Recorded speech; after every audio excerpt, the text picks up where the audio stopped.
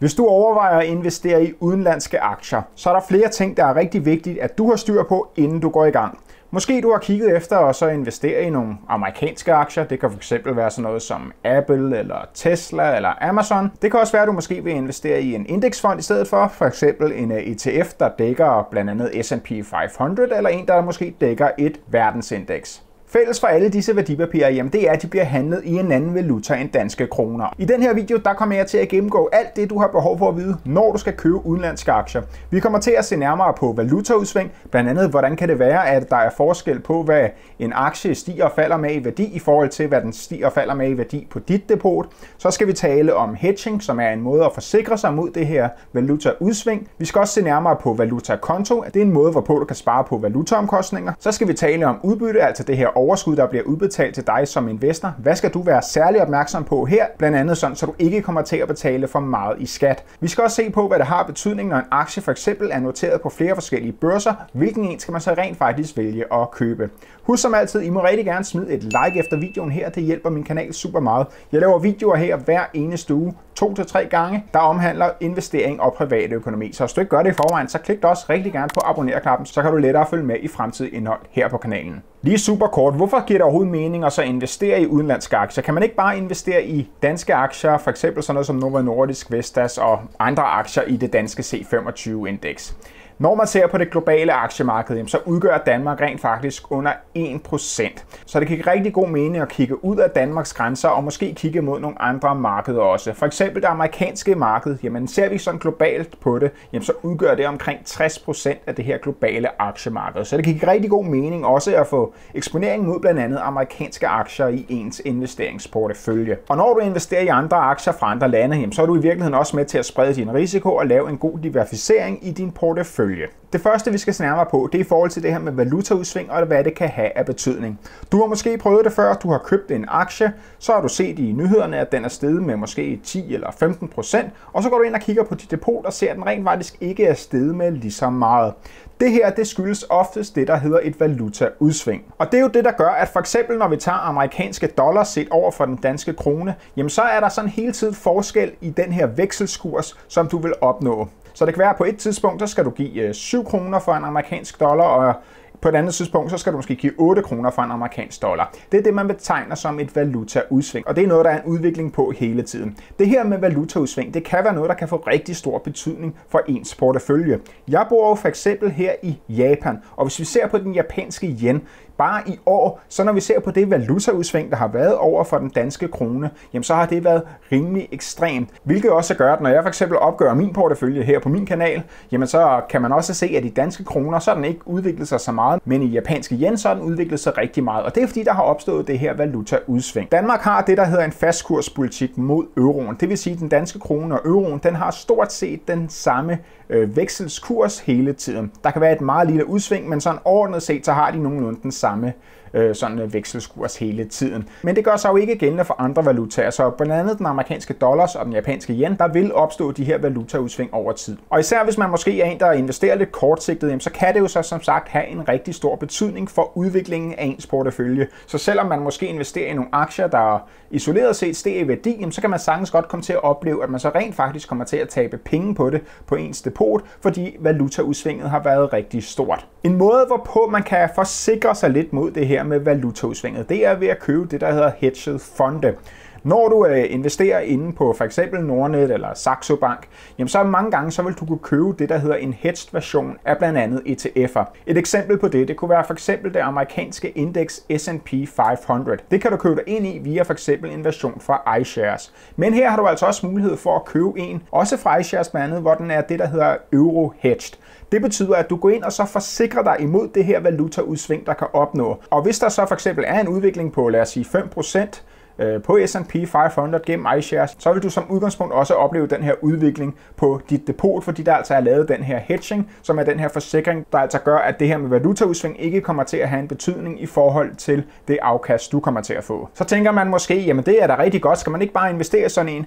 Det man skal være opmærksom på, jamen, det er, at de her hedgede øh, fonde, jamen, de er som udgangspunkt altid dyrere at investere i, blandt andet i forhold til det her med de her årlige omkostninger. Dernæst, når vi ser sådan historisk på det, især når vi har at gøre med nogle af de sådan større valutaer, jamen så over tid, så har de sådan en balancegang. Nogle gange så er der høj udsving og lavt udsving, men sådan hvis man har en lang investeringsstrategi, øh, en lang investeringshorisont, så når man ser historisk på det, så er det, vil det ikke kunne betale sig at så investere i de her hedged øh, versioner.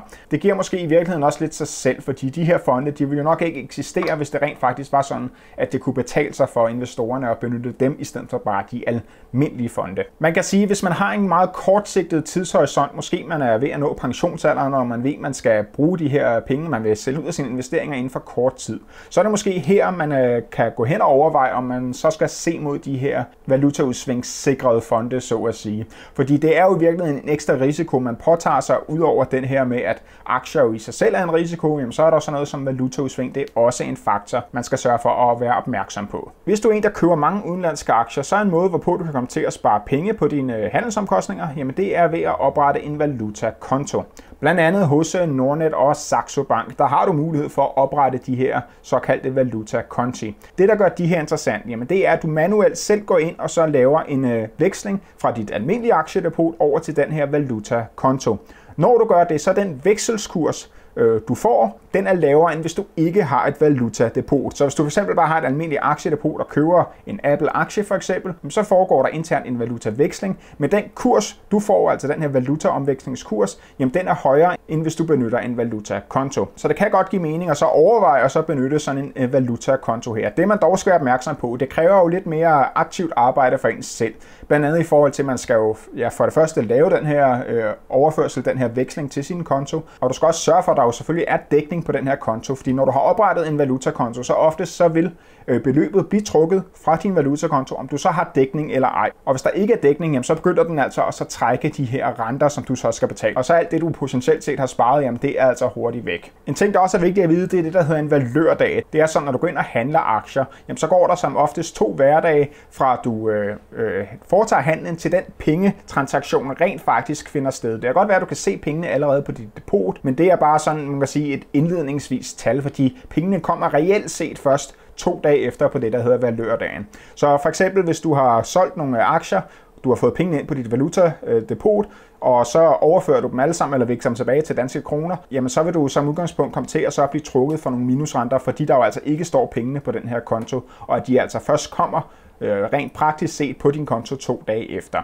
Så det er vigtigt lige at have det her for øje med, at man ikke bare øh, laver de her transaktioner frem og tilbage, uden at have styr på, at den her valørdag rent faktisk er opnået. Giver det så mening at have en valutakonto i forhold til, jamen nu køber du amerikanske aktier, jamen, så vil du købe i dollars, i forhold til, at du bruger dine danske penge. Nej, det giver ikke mening sådan på den måde, kan man sige. Fordi når du har købt aktien, jamen, så er du i markedet, og så er du eksponeret mod dollaren. Og så har det sådan set ingen betydning for, om at du indledningsvis har købt dem i kroner. Det der jo bare kan være forskellen, det er jo i forhold til det her med, at du kan spare nogle penge på de her vekselsomkostninger. Men når du er i markedet, så at sige, jamen, så er det ligegyldigt, om du har købt dem indledningsvis med en valutakonto eller ej. Når du investerer i aktier, jamen, så kan du komme ud for, at nogle af dem udbetaler udbytte. Udbytte er, når virksomhederne udbetaler en del af deres overskud til deres investorer. Det her med udbytte, det kan godt være noget, der kan være lidt svært at holde styr på, fordi det er sådan, at øh, når der bliver udbetalt det her udbytte, så før det kommer ind på din konto, jamen så bliver der trukket noget skat fra det land, hvor aktien er hjemmehørende. For eksempel i USA, der bliver der trukket 15% i øh, skat, i øh, udbytteskat, som den øh, øh, amerikanske stat altså trækker fra dit udbytte, før det lander på din konto. Så hvis du for eksempel har købt en amerikansk aktie, der udbetaler udbytte, for eksempel Coca-Cola, jamen så vil du altså ikke få det fulde udbytte, fordi der allerede er trukket lidt fra den amerikanske stat. Det er dog forskelligt fra land til land, hvor stor en procentsats, der bliver øh, trukket. For eksempel i Norge, så bliver der trukket 25%, og i Frankrig, der bliver der trukket 30%. Dog er det sådan, at for mange af de her udviklede lande, så har Danmark det, der hedder en dobbeltbeskatningsaftale.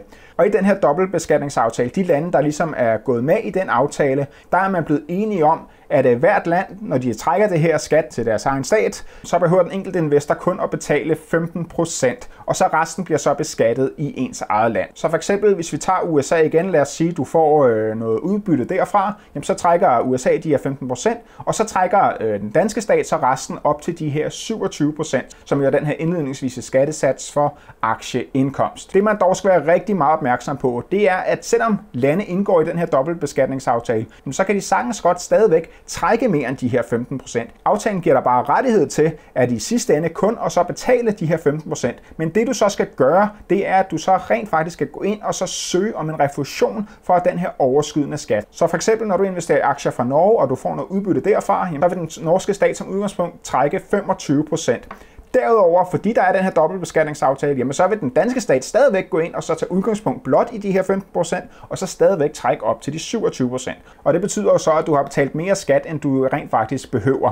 Det man så skal gøre i sådan en situation, det er, at man skal søge om at få den her skat over 15% øh, refunderet til en selv. Og det er her, hvor det kan godt kan blive rigtig besværligt, for her der skal man gå ind og så finde sådan en refusionsblanket fra det enkelte land, udfylde en masse informationer, og så sende det ind, og så vil så de her penge så komme efterfølgende. Jeg ved, inde på hjemmesiden, der hedder Ung med Penge, der har man lavet sådan en oversigt over blandt andet, hvilke lande, der trækker hvor meget procent, og der er også nogle links her til nogle refusionsblanketter, øh, som man altså kan udfylde, hvis man er i den her situation med, at man er blevet trukket for meget i udbytteskat. Hvad så i forhold til, når man så har fundet en værdipapir? For eksempel, man har måske fundet Tesla-aktien, og så opdager man, at man kan både købe den på den amerikanske børs, man kan se, at den har et amerikansk flag, man kan også købe den på den tyske børs. Er det her måske en måde, hvorpå man kan så undgå det her med valutaudsving? Nej, det er det ikke. Det her med, at du kan købe den på både den ene og den anden børs, det er simpelthen bare noget, et selskab kan vælge at gøre, hvis de bare vil øge tilgængeligheden for flere investorer til at komme til at investere i en aktie. I sidste ende, så er det stadigvæk den øh, valuta, som øh, øh, firmaet er bundet op på, i det her tilfælde te, øh, Tesla, jamen så vil det stadigvæk være den amerikanske dollars, der har betydning for det afkast, der bliver genereret.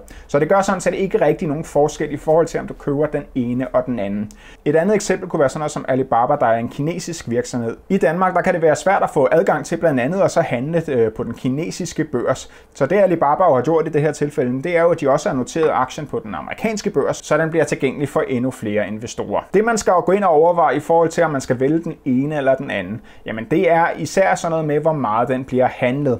For eksempel kan vi se, at Tesla-aktien jamen den bliver væsentligt mere handlet på den amerikanske børs, end den gør på den tyske børs. Og det gør, at den øh, købspris, du rent faktisk får, den ligger tilnærmelsesvis tættere på den øh, aktuelle kurs, jo flere der går ind og handler, fordi der jo altså er flere, der kan sælge og flere, der kan købe, og det er med til at sørge for, at der ikke er alt for stor spread på den her handelskurs. En lille ting, som man måske også kan overveje, det er jo i forhold til, om du så vil komme til at opleve det her med et øh, valutaveksling. For eksempel Novo Nordisk, den kan du også købe på den amerikanske børs. Men vil det give mening for en dansk investor, fordi så skal du øh, også øh, indregne det her med, at der foregår en veksling, som du også betaler lidt for. Det er jo selvfølgelig meget lidt på den lange billede, men det kunne være en lille fordel i forhold til det her med at så vælge, hvad for en børs man skal købe en specifik aktie på. Har I nogle spørgsmål i forhold til noget af det, jeg har sagt her i videoen, eller har I nogle andre spørgsmål i forhold til investering og det at investere i udenlandske aktier, så skriv jeres spørgsmål ned i kommentarfeltet. Har I ikke allerede gjort det, smid også rigtig gerne et like efter videoen her, det hjælper min kanal super meget.